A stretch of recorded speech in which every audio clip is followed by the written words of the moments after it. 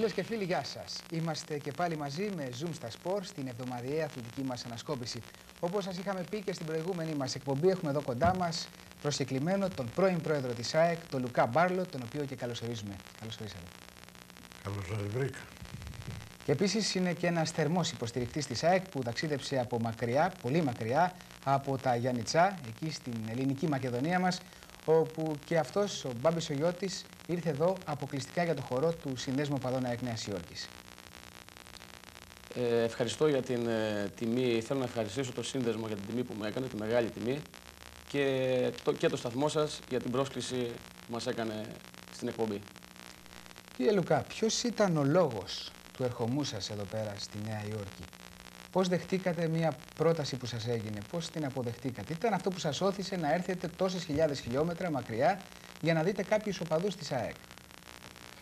Είχα ακούσει και είχα μάθει ότι στη Νέα Υόρκη υπάρχει ένας σύνδεσμος φιλάθλων οπαδών της ΑΕΚ. Έμαθα για τις δραστηριότητες μεγάλες που έχουν αυτά τα παιδιά, τα οποία προς τιμή τους βέβαια έχουν τέτοιο παλμό και τέτοια αγάπη και τέτοια λατρεία για την ΑΕΚ που δεν περιγράφεται. Είμαι πολύ συγκινημένος που γνώρισα αυτά τα παιδιά που είχαν την τιμή, που μου κάναν την τιμή μάλλον, να με καλέσουν να παρευρεθώ στη χωρεσπερίδα που είχαν οργανώσει. Και απεδέχθη την πρόσκληση μαζί με τη σύζυγό μου και τύχαμε δερμής φιλοξενίας η οποία θα μας μείνει αλυσμόνητη. Πραγματικά με συγκίνησαν τα παιδιά αυτά. Μου με κάναν να θυμηθώ όλες τις μέρες που αφιέρωσα στην ΑΕΚ και με κάναν να μην μετανιώνω γιατί για ό,τι προσέφερα στην ΑΕΚ. Είμαι περήφανος για αυτά τα παιδιά. Αλήθεια, μια τέτοια υποδοχή την περιμένατε; Έχω τύχει πολλές, πολλών υποδοχών. Πάντοτε, κατά τη χρονική περίοδο που ήμουν ανακατεμένος με τα διοικητικά της ΑΕΚ. Έχω νιώσει συγκινήσεις πολλές. Από, ύστερα από αγώνες, ύστερα από υποδοχές.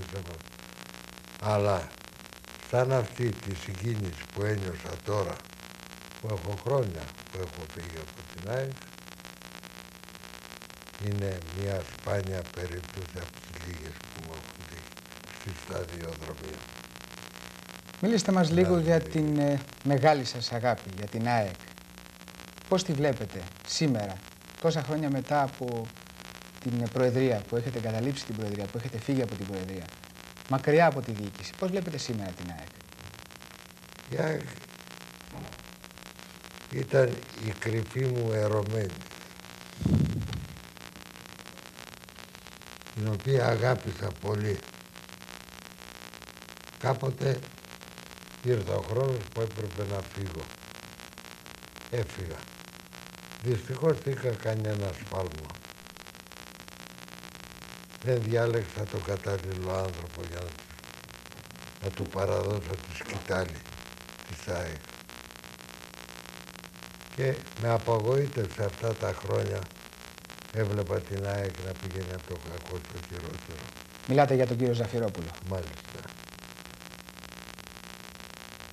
Τώρα, τα τελευταία χρόνια, παρουσιάστηκε ένας Μελισανίδης και ένας Καράς.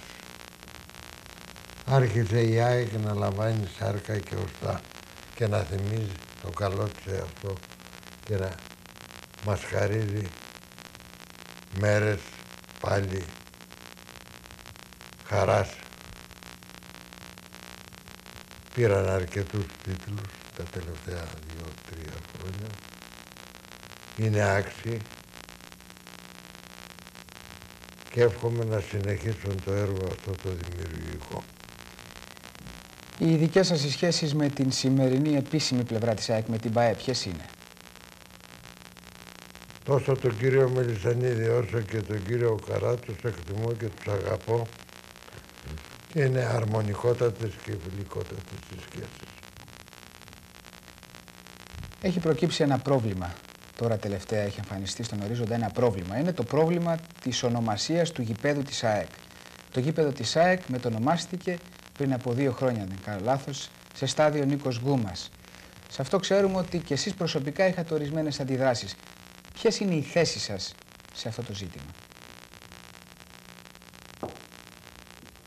Αυτό το θέμα με έχει στεναχωρέσει πάρα πολύ σε αφάνταστο σημείο διότι δεν νοείται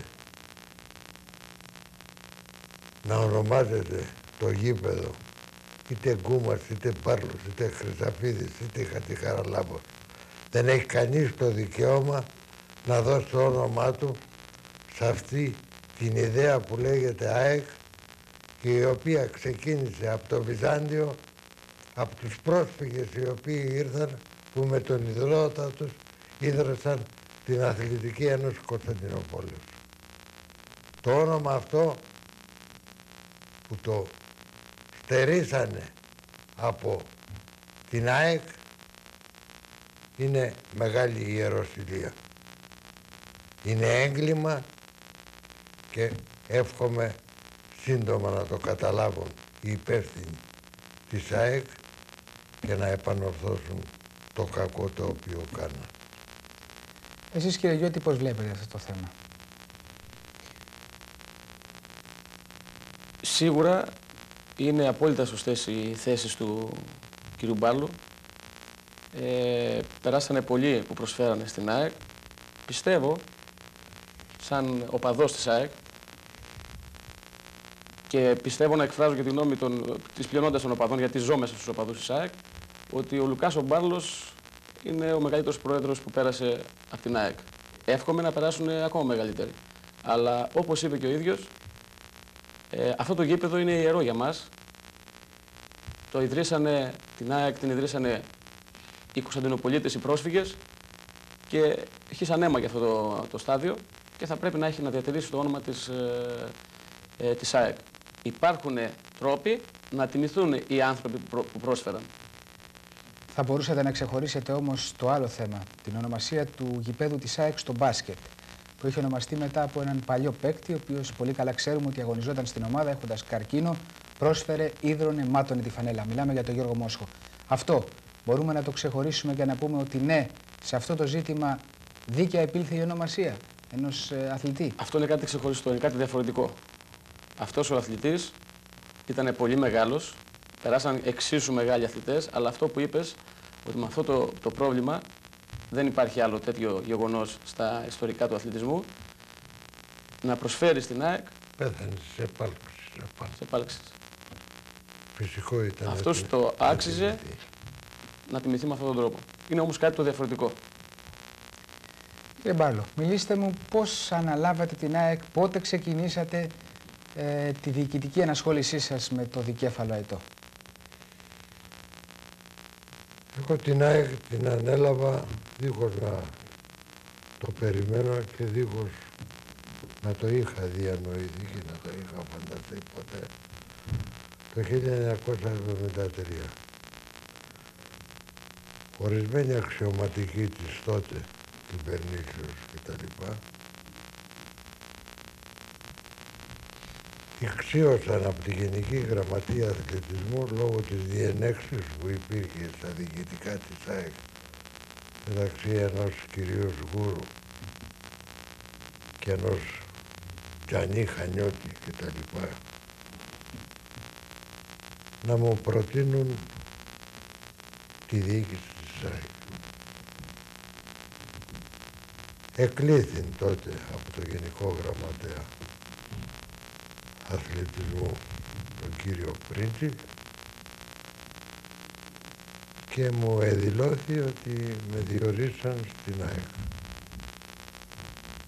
Φωτογράφ, δημοσιογράφ και τα λοιπά, χαλούσε ο κόσμος, το είχαν τελειωμένο ότι διορίστηκα στην ΑΕΚ. μου πρότεινε ο κύριος Πριτζής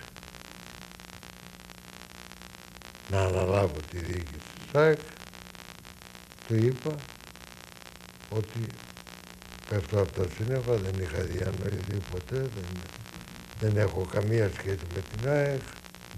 Εγώ από παιδί ήμουν Αριανός, έπαιζα τα τσικό του Άρεος μικρός.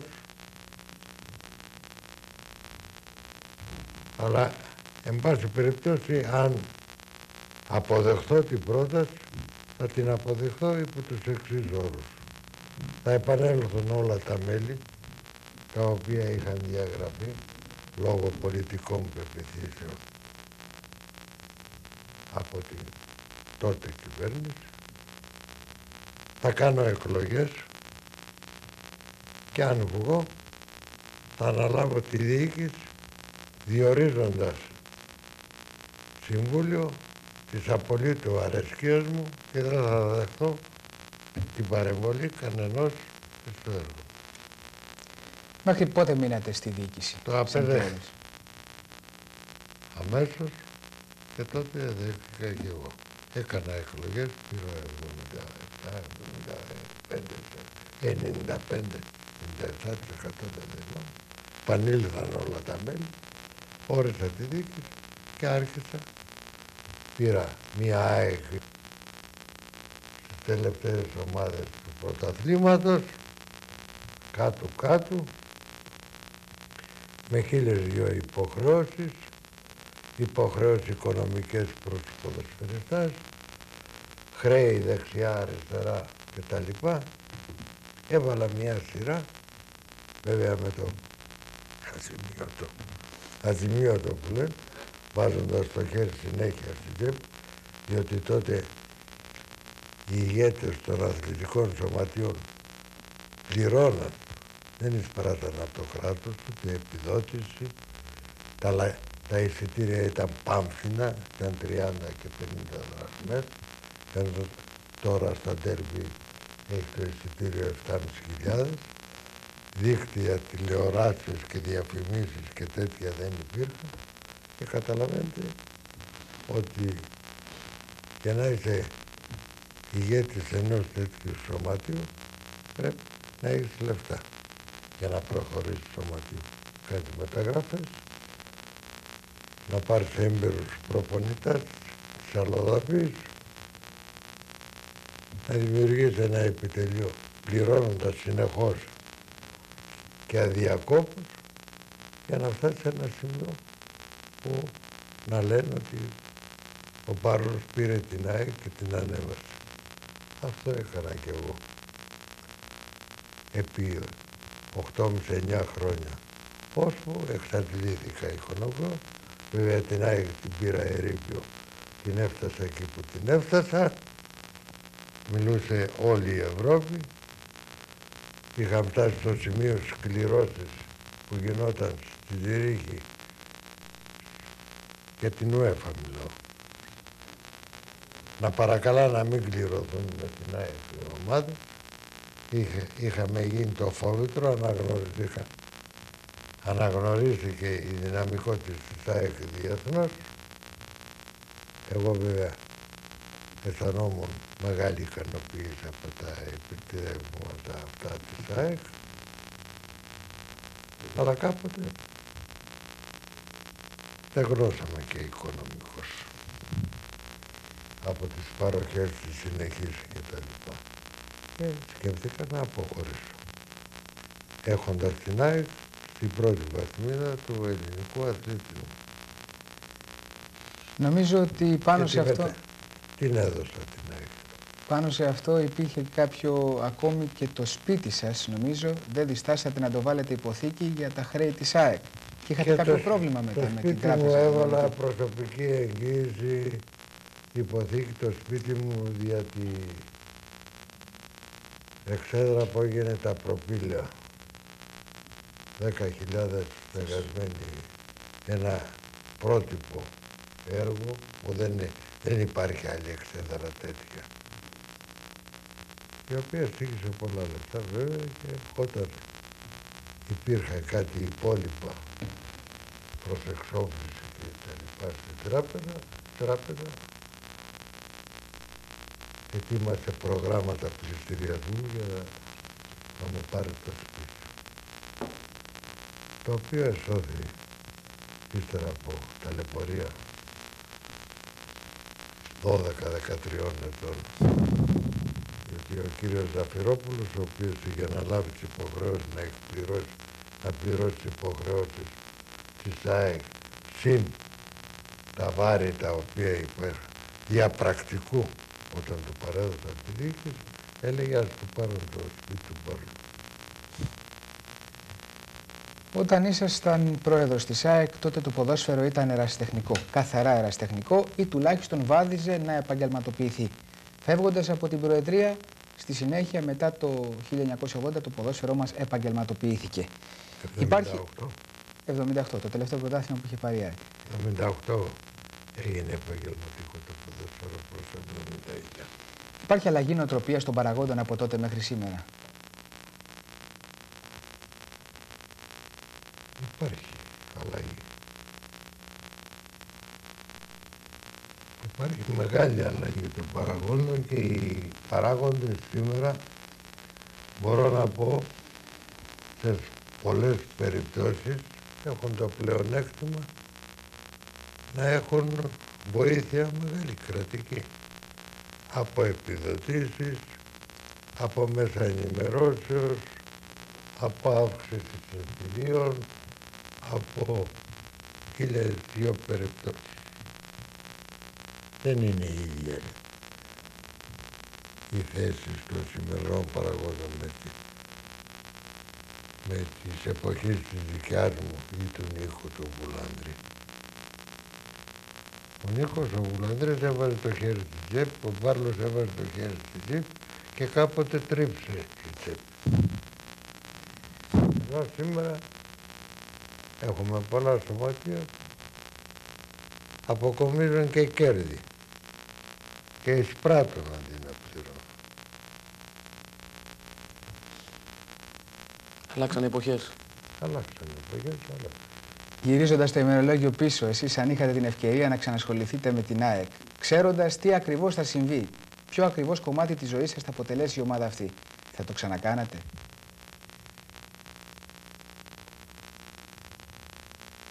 Είναι δύσκολη η ερώτηση. Δεν ξέρω ψυχολογικώς τι αλαμπάκια θα λάβαν σε ένα τέτοιο θέμα. Έχετε όμως από η ό,τι... αγάπη, η αφοσίωση, η πείρα, που είναι μεγάλο πράγμα, με βοηθήσαν να κάνω αυτό το οποίο πέτυχα τότε. Τώρα δεν ξέρω και η ηλικία αν μου επιτρέψεις να έχω τις ίδιες δυνάμεις να επανορθώσω, να ε, ξανακάνω αυτό το άλμα που είχα κάνει. Τότε όταν είστε πρόεδρος είχατε κάνει μεταγραφές θριαμβευτικές για την ομάδα σας. Οι μεγαλύτερες- Μαύρος, οι μεγαλύτερες Μπάλιτς, μιλήστε μου που για αυτές.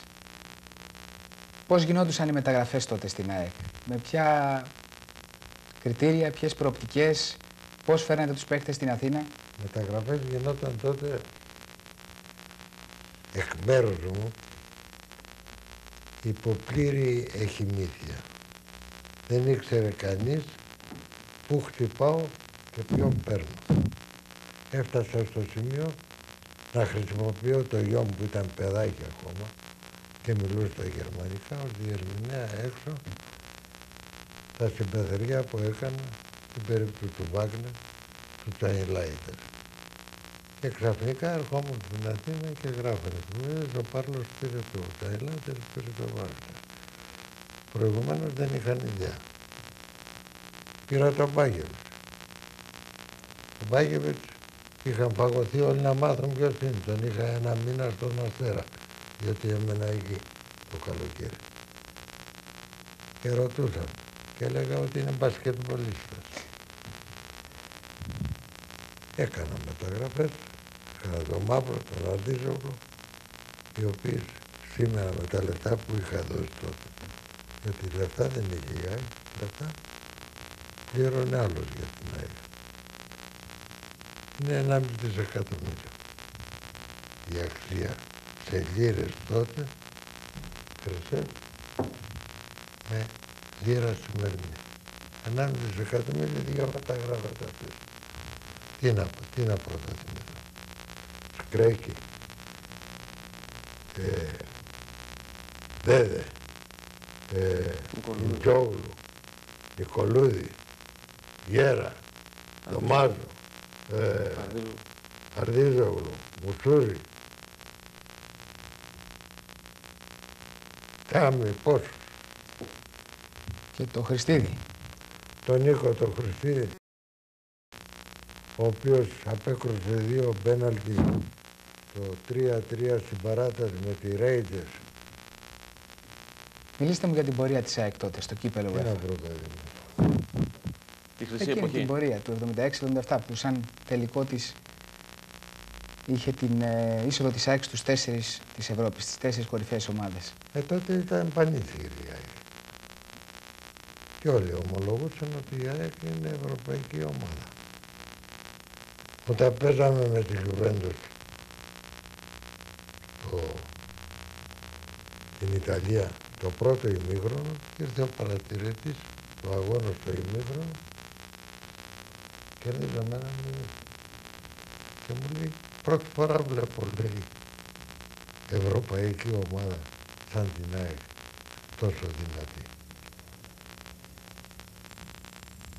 Είχαν καταπιεί τη γλώσσα τους στο κο... κο... κομμινάλι, πώς το λέγανε. Κομμουνάλε. Κομμουνάλι. Και σκόρερ τότε Το θυμάστε Κορίνο. ποιος ήτανε, του γκολ της ΑΕΚ; Δεν θυμάμαι ακριβώς. Ο Λάζαρος ο Παπαδόπουλος. Παπαδόπουλος. Και στο δεύτερο ημίχρονο, μόλις άρχισε το δεύτερο ημίχρονο,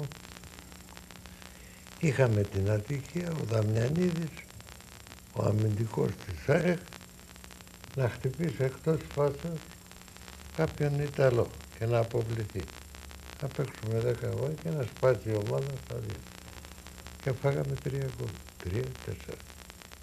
Άλλαξε το Τέσσερα σκηνικό. Ήρθαν εδώ αυτοί, είχαν φέρεις στο παλιό. Τότε στους τέσσερις ήταν, ε, αν δεν απατώμε, η Rapid Βιέννης και η ε, Ισπανική ε, η Ατλέτικο Μπιλμπάου. Η Άνια Άκη είχε κληρωθεί με μια άλλη ομάδα και όχι με τη μεγάλη κυρία του Ιταλικού ποδοσφαίρου. Θα είχε φά- καταφέρει να θα- φτάσει στο Θα τελικό. φτάναμε στο τελικό. Θα κερδίζαμε το τελικό. Γιατί οι ομάδες που είχε αποκλείσει η Η ΑΕΚ Juve- τότε ήταν η μεγαλύτερες Juventus από Τότε αυτές. ήταν η μεγάλη κυρία της Ευρώπης. Μπέτεγκα, Όπως Καούζιο. ήταν ο Άγιαξ προς λίγων ετών, έτσι ήταν η, Ju- η Juventus. Ήταν φοβερή ομάδα, χτύπησε. Αλλά έτυχε, είχαμε την ατυχία να κληρωθούμε μόνος. Και έτσι αποκλείω. Τελικά οπωσδήποτε θα φτάναμε. Δεν λέω ότι θα ερχόμασταν πρώτοι, αλλά στους δύο πρώτους θα ήμασταν. Πείτε μας, από τους παίχτες που είχατε στην ε, ομάδα, ήταν μερικοί που ξεχωρίζατε σαν χαρακτήρες, τα αγαπημένα σας παιδιά; Ο καλύτερος χαρακτήρας που πέρασε από την ΑΕΚ είναι ο Μπαγίτης. Δεν διστάζω να το πω. Ποτέ δεν με ενόχλησε. Πάντοτε τα γυρίζαμε από αγώνας από την επαρχία που πολλές φορές χάραμε. Ερχόταν δίπλα μου που καθόμαστε αναχωρεμένος και μου παρηγορούσε. Μη στεναχωρήσει. Πρόεδρε, στη Ρεβάν θα κερδίσουμε και τα λοιπά και τα λοιπά. Παρηγορούσε. Ήταν παιδί που πέρασε από την ΑΕΚ, ίσως από την Ελλάδα ο καλύτερος αθλητής σε χαρακτήρα. Τύχος αξιώσεις, σωστός στη δουλειά του και το απέδειξε. Μα νομίζω και εσείς ο ίδιος σαν πρόεδρος της ΑΕΚ του είχατε συμπαρασταθεί όταν είχε έρθει στην ομάδα, όταν τραυματίστηκε στις πρώτες του... Έπαθε, ναι, το γόνατο του και τα λοιπά, χειρουργήθηκε και απέδωσε. Ήθελα πολύ και απέδωσε. Ήταν ο πρίγκιπας του γήπεδου. από Ένα προπονητές. φοβερός παίχτης. Ο προπονητής, ο Φάντροκ, ο Τσίκ. Αυτά είναι εποχή στην ΑΕΚ. Και έβγαλα και δύο προπονητές. Εγώ ο Πάρλος. Το Σταματιάδη και τον Παπαπαστόλη. Και έκανα προπονητές. Να περάσουμε και σε εσάς, κύριε Γιώτη. Σας κουράσαμε βέβαια εδώ πέρα, αλλά είναι τόσο όμορφες όπως καταλαβαίνετε και εσείς οι συζητήσεις με έναν παράγοντα του ελληνικού ποδοσφαίρου που έχει προσφέρει τόσο πολλά σε μια ομάδα όπως είναι η ΑΕΚ. Ιδεολογικά εσείς, την ΑΕΚ, πώς τη βλέπετε; Από... Καταρχήν ε, θέλω να πω ότι για μένα είναι μεγάλη συγκίνηση που βρίσκομαι δίπλα στο, μεγάλο, στο μεγαλύτερο πρόεδρο της ΑΕΚ, τον άνθρωπο που μας γαλούχησε και τον άνθρωπο που έβγαλε από την αφάνεια την ΑΕΚ. Είναι μεγάλη τιμή. Ε, ιδεολογικά πιστεύω η ΑΕΚ, έτσι πιστεύω εγώ, είναι η μόνη ομάδα που έχει ιδεολογία. Σύμβολό της, όπως θα ξέρεις, είναι το σύμβολο του Βυζαντίου. Ιδρύθηκε από πρόσφυγες. Οι ρίζες της είναι προσφυγικές. Αντιπροσωπεύει την Ελλάδα. Τις χαμένες πατρίδες. Τις, τις λησμονημένες μάλλον πατρίδες, γιατί είναι λάθος έκφραση να λέμε χαμένες πατρίδες. Μιλάτε και από μία άλλη θέση τώρα, κύριε Γιώτη. Από ό,τι ξέρω, είστε λοχαγός του πυροβολικού στον ελληνικό στρατό. Ναι. Άρα μιλάτε με διπλή ιδιότητα. Συνδυάζετε την ΑΕΚ με την Ελλάδα. Και κάπου μέσα μου είμαι ευαίσθητος. Ε, από μικρό ήμουν ευαίσθητος με αυτά τα θέματα. Όσο με την ΑΕΚ, τόσο και με την Ελλάδα και με το Βυζάντιο. Σαν λοχαγό του στρατού, του ελληνικού στρατού, πείτε μου, τι είναι αυτό που σας κάνει να αγνοείτε ίσως την ιδιότητά σας, να την ε, βάζετε ίσως σε δεύτερη μοίρα και να ασχολείστε ενεργά με την ΑΕΚ εμφανώς χωρίς να προβληματίζεστε ότι α, τι θα πει ο κόσμος. Είναι λοχαγός και τρέχει και φοράει το κασκόλ της ΑΕΚ μπροστά σε όλο τον κόσμο. Αυτό πώς το ξεπερνάτε; Ε, η ΑΕΚ για μένα είναι ένα πάθος. Και όταν έχεις ένα πάθος ε, δεν, μπορείς να, δεν μπορείς να σκεφτείς τίποτα άλλο. Ε, προσπαθώ που είμαι μέσα από τις ε, επάλξεις της Original η Original είναι ό,τι δυναμικότερο έχει η ΑΕΚ αυτή τη στιγμή. Έβγαλε την ΑΕΚ, τον οπαδό της, ΑΕΚ από την αφάνεια. Γίνεται σεβαστή και την τρέμουν, την τρέμουνε μπορώ να πω όπου πάει, σε όλα τα γήπεδα της Ελλάδος και του εξωτερικού. Και μέσα από εκεί προσπαθώ να βοηθήσω τους οπαδούς της ΑΕΚ. Γιατί όπως θα ξέρουν πολλοί εξήτες, κάποτε οι οπαδοί της ΑΕΚ ήταν ο φτωχός συγγενής του ΠΟΚ. Μέχρι που ήρθε ο Λουκάς ο Μπάρλος και μας γαλούχησε, μέχρι που ήρθε ο Original και μας ανέβασε εκεί ψηλά. Να κλείσουμε με ένα μήνυμα. Ένα μήνυμα για την ομογένεια. Πρώτα εσείς κύριε Γιώτη. Συγκινήθηκα φάνταστα, δεν το περίμενα, όταν βρέθηκα στην παρέλαση εδώ στην ε, Πέμπτη Λεωφόρο, είδα ότι η ομογένεια κρατάει ψηλά το λάβαρο της πατρίδας και εύχομαι να συνεχίσει το κρατάει. Κύριε Μπάρλο, ένα μήνυμα για την ομογένεια. Δεν περίμενα να συναντήσω τέτοιο